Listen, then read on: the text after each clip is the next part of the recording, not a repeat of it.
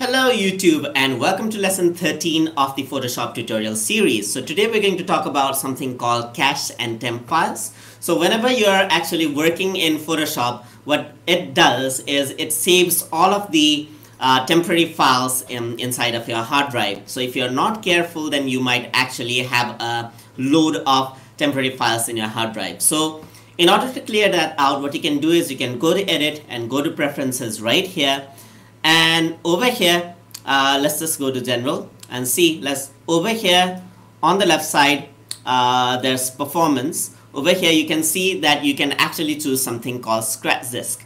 Right now what is happening is that uh, I'm using C. So sometimes my I do have a lot of free space over here.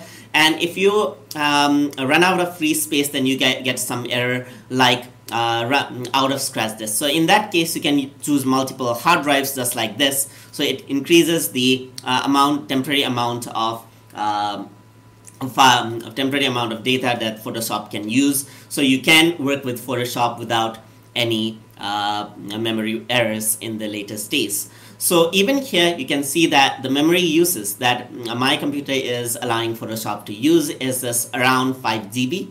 Uh, so I can increase this number so, that I can allocate more RAM to Photoshop and thus increasing my performance of Photoshop or the amount of work that I can do in Photoshop. So you can even uh, sometimes like if you uh, have the uh, graphics, if you have a good graphics card, in my case I have GTX uh, 790. So uh, I can enable and disable the use of graphics card and you even have the advanced settings on if you want advanced graphics uh, to be uh, used or not. So if you want to use your graphics card very well then you can just turn on the advanced mode and then it'll turn on uh, use the full capacity of the graphics card. So this is how you can simply increase the performance of your um, um, of your mm, like for of Photoshop.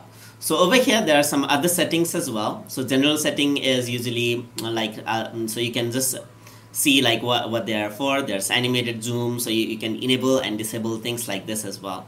You can even change the color scheme of your interface. You can change the sync, get, uh, uh, sync settings like if you have uh, a Creative Cloud account then you can actually sync your files over there and there's the um, file handling. So if you want to edit files or handle different kind of file types then you can use the file handling tab over there.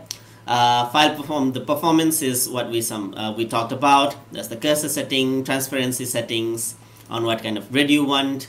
So even you can change the background grid if you want to show the transparent in different uh, checkerboard styles and so forth. So there's units and rulers, of course, that uh, that we talked in previous lesson. There's uh, grids guides, uh, grids and guides, even plugin manager, uh, type manager, and experimental features just like this. So you can increase the RAM over here.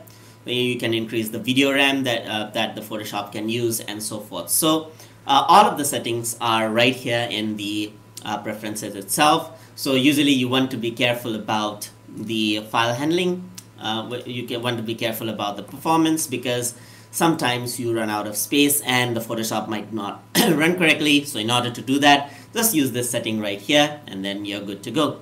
So hope you guys learned something as always and as always, please like, comment, share and subscribe.